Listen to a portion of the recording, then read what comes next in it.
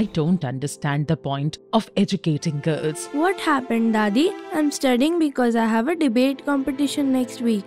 Oh, as if sending you to school was not enough. Now we are teaching our girls to talk back as well. Our time was much better than this.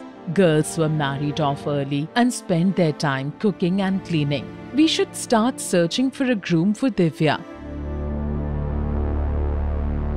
She's still a child, Ma. I want to ensure that my children study for as long as they want to. If she studies too much, finding a groom will be very difficult. No, Ma. If Divya is educated, she can choose her own profession. She can become a doctor or a teacher or whatever she wants to become, Ma. You know, even presidents and prime ministers of some countries are women these days. Moreover, our society is slowly changing, and these days people want their partners to be educated. Hey Divya, I will do it. You please go and study. Please don't take Dadi's comments to your heart. She was not able to complete her education and thinks very traditionally, but remember that she cares about you. Hmm. Ma, you know I feel hurt when Dadi disapproves of me studying and not helping at home. Divya, don't get disheartened. I'm always here to support you. I will do the housework. Thank you, Ma. I promise to make you proud. You know what, Aryan? Sometimes I feel like girls are born to struggle and do only household work. Why are you saying this, Divya? My grandmother doesn't want me to study and wants me to get married. She thinks girls should not have any ambition. Divya, don't get stressed. Come, let's go to our classroom. Divya, even our constitution does not allow girls below 18 to get married.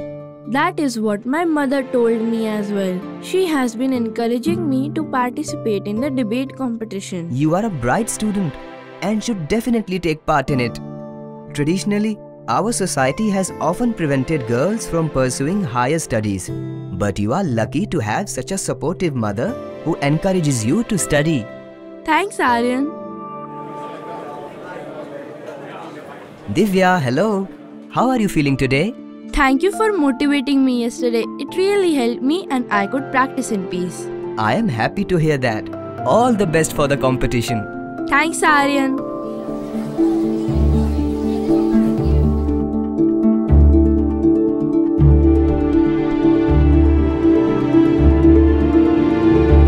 The winner of this year's district debate competition is.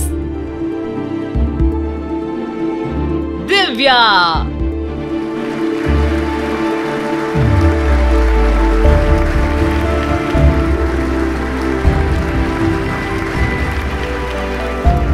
Because of good education, Divya is so aware and spoke with such confidence. Divya, we will award you with a three year scholarship and a laptop. It is important to invest in the education of both boys and girls to provide equal opportunities to them. Thank you for joining us today.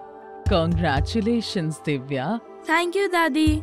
I'm not very educated, but I now realize the importance of education. I'm very proud of you. Interpersonal relationships are important for every individual's overall physical and emotional happiness. It is important to observe, listen, and ask to understand each other's emotions. These skills enable us to build positive connections with people around us, be it friends, siblings, parents, or teachers. When we understand others' feelings and emotions, then we become more sensitive to their needs and it strengthens our relationships.